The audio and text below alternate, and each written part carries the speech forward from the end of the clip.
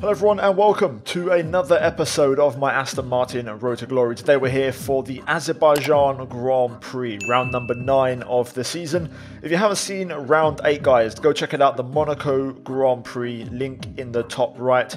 Trust me, it's worth it. It's a fun weekend and there's a lot of rain, so go watch it. Spoilers ahead. And yeah, we're going to get into today's episode. So, guys, as you can see, we have an upgrade scheduled for the 4th for the Vortex generators, which is on the aero side of things. First things first, though, is changing the ICE because we're struggling a little bit on where on a few components, but this one is the worst of the bunch. And this is a power circuit, so we're going to go ahead and get that replaced.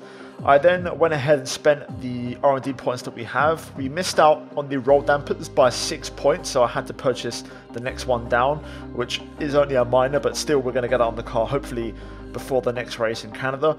Confirmation that the upgrade for the aero did arrive, so that's going to give us a slight edge this weekend, a slight improvement.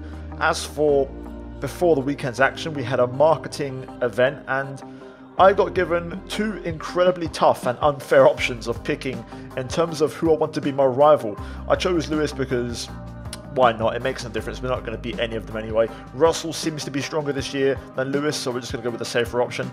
For now, though, we're going to focus on the weekend. You can see we have no rain forecast, and as for the development graph, we saw that small upgrade arrive for the aero, and Alfa Romeo have actually just edged back ahead of us, but for the most part, that field spread is getting tighter and tighter. Ferrari, Mercedes bring a couple of big upgrades, but the field as a whole is getting much more compressed.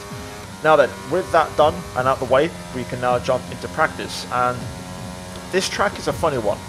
I struggle here to be fast over one lap. We was quite slow last year.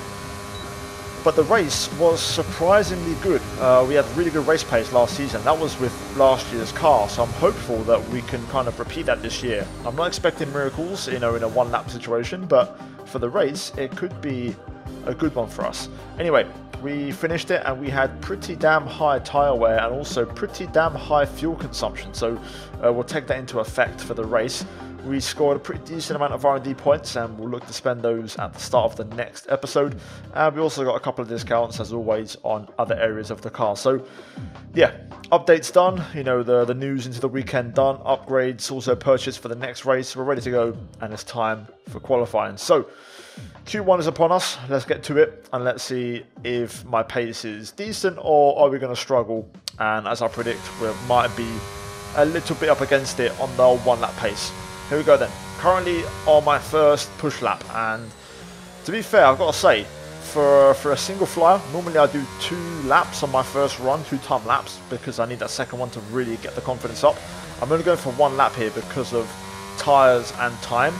And to be fair, I'm actually really happy with this. This was a really, really good banker lap. No mistakes really, uh, just very smooth, very decent, pushing at a pretty high level. And up to the line, we're going to get our first reference time as we open the DRS on 139.6. Okay, so last place out of those who have set a lap and eventually last overall by quite some margin.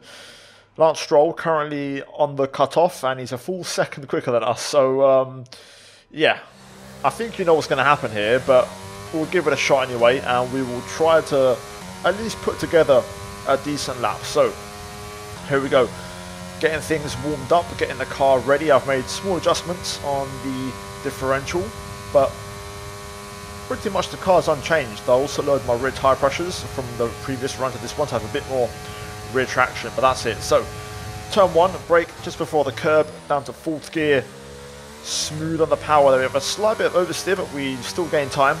Brake just before the 50 for turn two, avoid the inside curb, use all the runoff and smoothly get on the power as you open the DRS.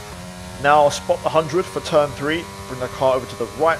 Important to brake a bit earlier, turn in and then make sure you get the drive, so slow in fast out, which is the recipe for success around here. Turn 4, same thing again, slow in fast out, and now we conclude sector 1 and make our way into 5 and 6. A little bit wide, they didn't quite get all of the apex, I wasn't right up against the wall, but we get a decent exit through 6 to be fair. Now down to 7, braking before the 50 you want to try and get a bit more inside curb than I've done there, but we still gained a little bit of time. Now into the castle, fourth gear, throw the car in, and then hold it in full through the next two corners. On the power, smoothly there on the exit as we again find a little bit of time throughout that section. And now we look for this very tricky brake zone here. So bring the car to the left side, straight line brake, and then fourth gear, very important traction zone here down the hill as we find a load of time. And now the last corner not too shabby to be fair, went in a little bit earlier than I usually do because I suffer with understeer through there and we do actually find a bit of time and we're going to improve by over half a second. The question is, will this even move us off the bottom because we was 4 tenths off Bottas, you know, on that previous run so depending on how much he's improved and others around him, we'll know exactly where we are. Wow. Poof. That is, um, that's painful. That's a long, long, long, long way away. To be fair, you know, I mentioned before the field spread, and if you kind of take us out of the equation, it's a very close grid. The pace is very, very similar, pretty much with everyone. However, seven tenths off our teammate and three tenths off the next car. It's not really ideal, and especially after getting Q3 the last time in Monaco, albeit in wet conditions, this wasn't the session I had in mind. So, yeah, work to be done in the race. But then again, like I said in the intro, we struggled here last year, so I don't see why we can't fight in the race. Good afternoon and welcome from Baku. This was the arena, if you think back to 2017, of one of the most eventful races of modern history, with controversy behind the safety car, last second overtakes, and a historic podium for Williams and Lance Stroll. Let's find out what lies in store for us this year. It's time for the Azerbaijan Grand Prix. With 20 turns and a length of 3.7 miles, Baku City Circuit in the heart of the Azerbaijan capital is a real test of a driver's endurance, patience and precision. 90 degree corners through sector 1, leading to a tightening uphill sprint as we start to circle around the old city. Then a 1.4 mile chase flat out through sector 3 towards the finish line. Before we begin, let's take a quick look at the grid lineup for today's race. Fantastic effort from Charles Leclerc yesterday, and it's put him on pole. A very happy Carlos Sainz will start second. As we continue through the rest of the grid today, we have Hamilton, Russell, Max Verstappen and Perez, Ricciardo, Ocon, Magnussen and Pierre Gasly, Mick Schumacher, Latifi, Alex Albon and Vettel, Stroll, Tsunoda, Lando Norris and Guan Yu Zhou, Bottas and Martinez. It's almost time for those five red lights to go out then. Let's see who can prevail today.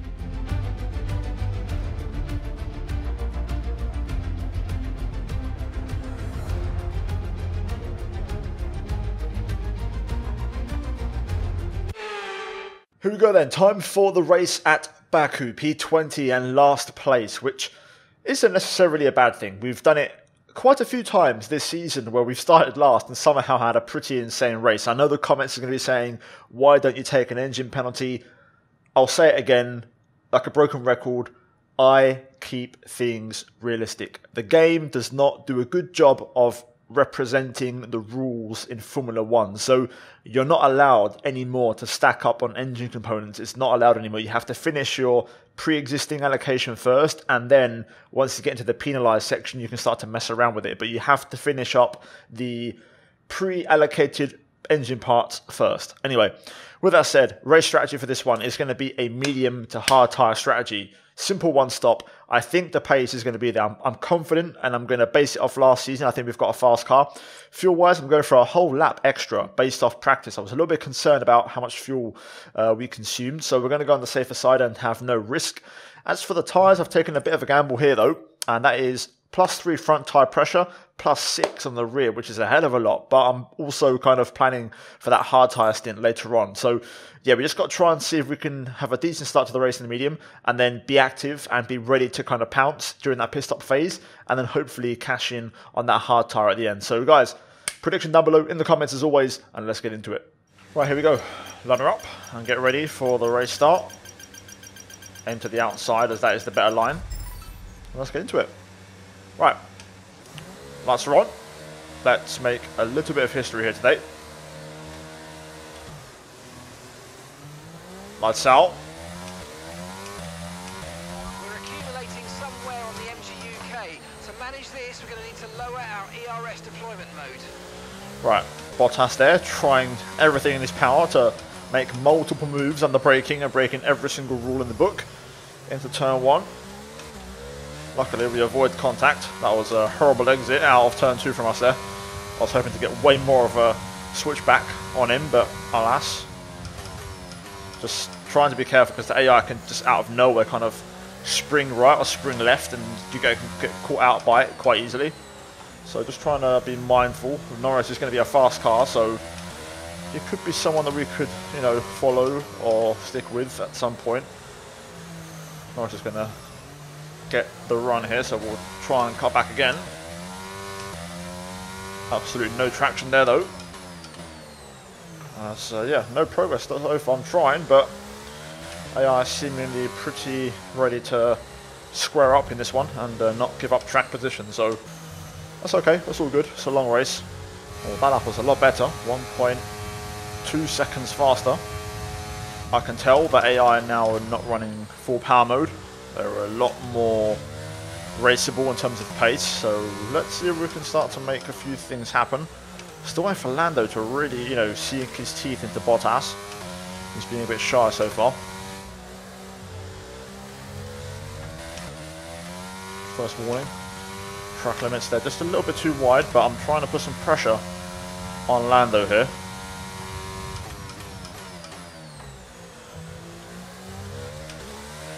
Feel like I can try and force a move, but I've got to get a good exit out of here, which I'm struggling with this corner a little bit. But that's the best exit I've had. Third gear seems to be the way to go. Right, let's see if we can try and put a move on here. I'm not great on the brakes into turn one, so we may just have to brake a little bit earlier. There we go. We might actually get Bottas to be fair. He's got no DRS.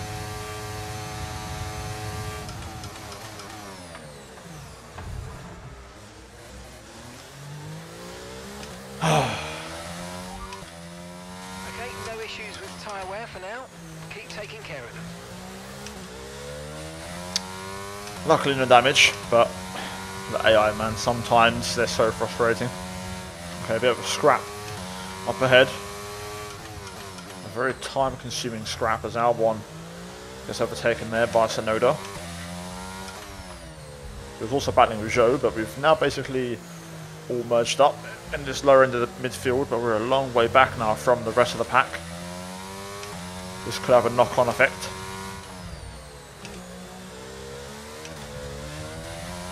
That exit let me down quite a lot. Still, we're probably going to get a chance here. We're close enough. We'll have to use a lot of battery. Bottas also won't have DRS. Here we go, using our straight line speed. Just about squeezing to the inside.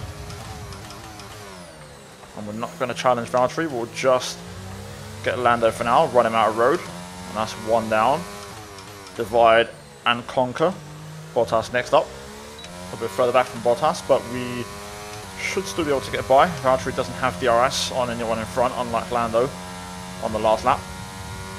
Just don't want to use all my battery if I can avoid it. I think we've got enough of a run here.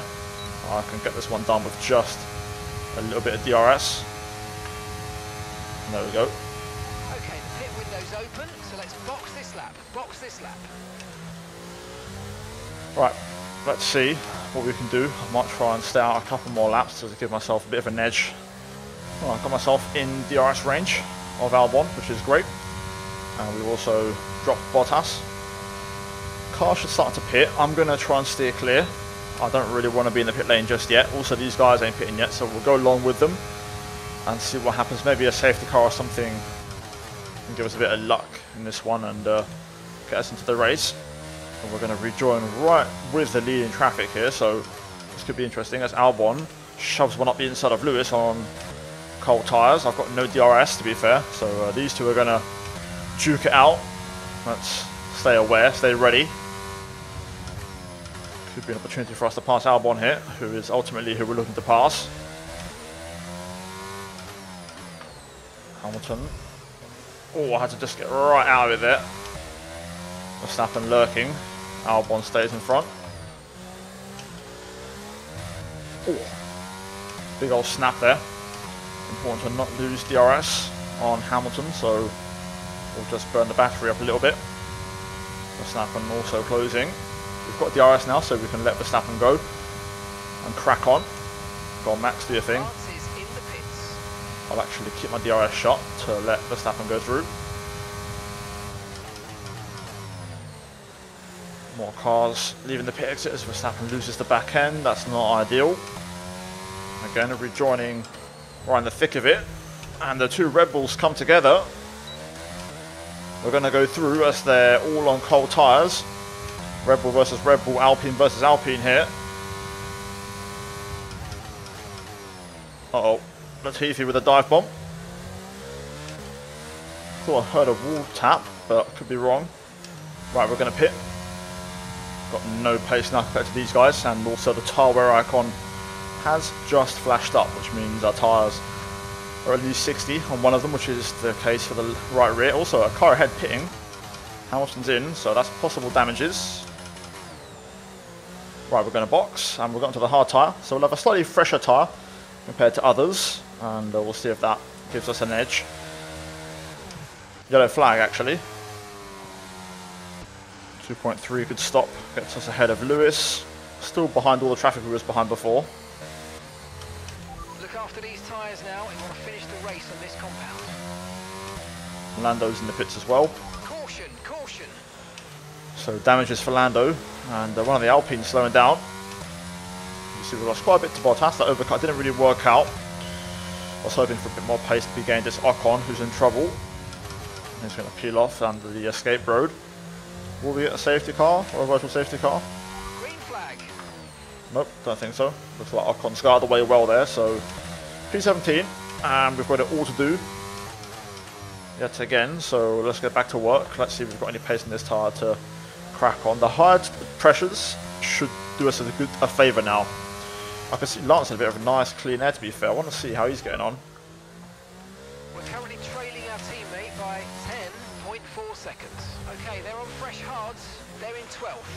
Last lap was a 1 minute 57.4. Okay, so Lewis could be our golden ticket here on a medium. Let's see if we can maybe latch onto him and let him drag us to the promised land. Alright, here comes Lewis. Our DRS has gone offline, which really isn't ideal. But you can see the Merc isn't great in straight line speed, so Hamilton's struggling to really make a difference. I'll get out of the way, as in I won't make it hard for him, but I'm not going to drive out of my own way to let him go through, so he's going to have to commit to a move, like so. Or Lewis is way too fast. Gonna get the battery on, but we're not fast enough to stay within his DRS, so just gonna have to work. Gonna have to work. For some reason, the pace don't seem to be there this season, unlike last year. If there was a late safety car in this race, I genuinely think we'd have a chance to actually get some points. My pace is decent, man. Honestly, decent. Hamilton through on Bottas.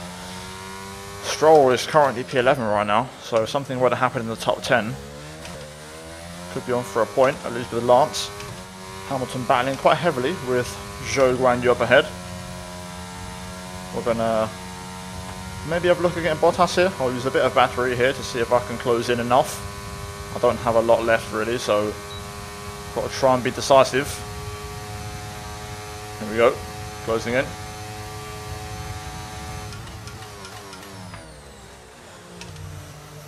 I, I always do that, man. No tyre concerns at the moment, just focus on the driving.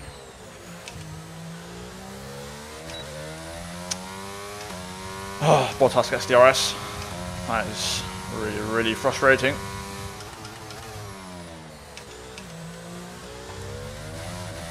Just ran that in a bit deep there. Not ideal. We're closer than last lap, but Bottas this time is going to have DRS from his teammate. I'm going to try and see if I can close in now.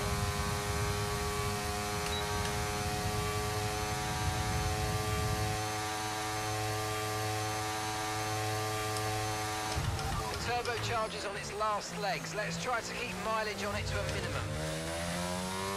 There we go. Had to move the brake bias forward. I just have no confidence with the brakes on 15 to turn 1. The rear's just locked and spinning around, so let's get off the. Really struggling with wheel spin now all of a sudden. Wheel spin in 5th gear there. That's just set me back enough that the is pulling away quite a bit. The Alfa Romeo is pretty damn slippery on the straight, man.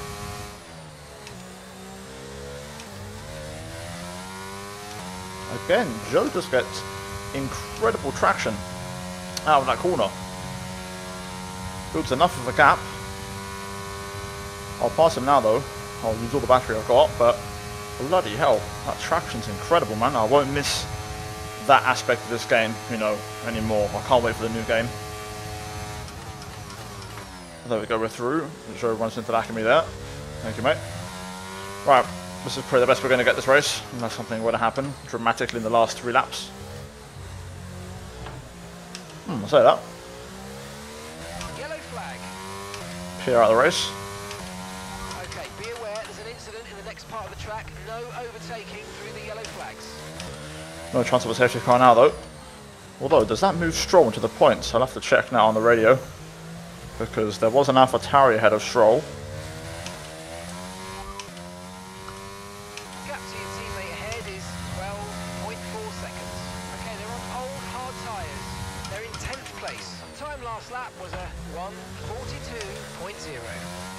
So, Lance into the points.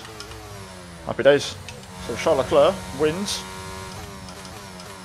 In dominant fashion, by the way. Absolutely destroyed the field. And yeah, for us, P15, looks like Lance will score a point. Could have maybe scored two. He was battling for P9, but didn't have enough juice went it mattered. But yeah, still, good fun. Albeit a race where we suffered. I enjoyed trying to, you know, fight back. But today just wasn't our day. So, yeah, I swear last year we had a good race. I, I might be tripping, but I swear last year we had a really good race pace and recovery, but it just wasn't to be this time. Okay, pick up rubber and bring it home.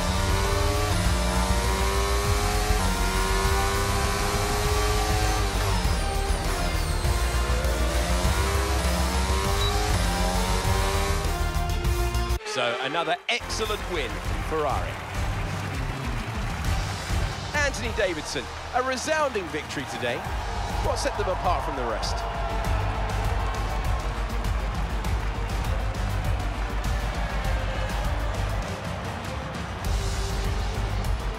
Here come our winners now. A thrilling race and a tremendous effort by Ferrari.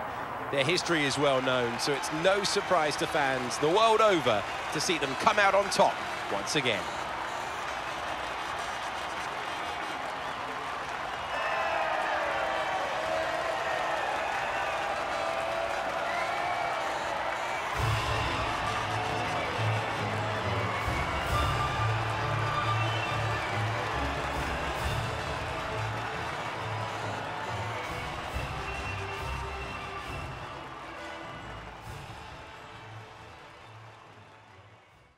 And there we go then, confirmation. Lance does bag a point in P10, and to be fair, it's not a terrible day at the office, but it's not ideal. Has to score points with both cars. Schumacher, Magnussen, 7th and 8th, and also Sebastian Vettel scores points for Williams in P9. Leclerc, though, dominates and destroys the field, 12 points ahead of the next car, which was George Russell.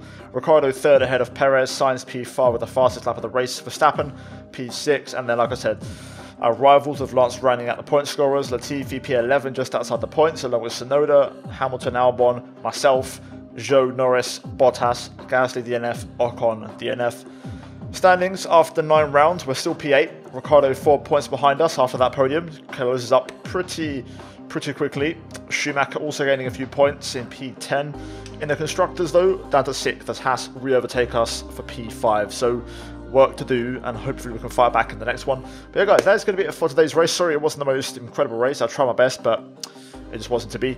Leave a like, subscribe as always, all that good stuff. It really helps me out, it goes a long, long way. Leave a comment as well for the algorithm. And yeah guys, as always, a big shout out to the members. Check out the two videos on screen and I'll see you in the next one. Until then, take care and it's goodbye from me.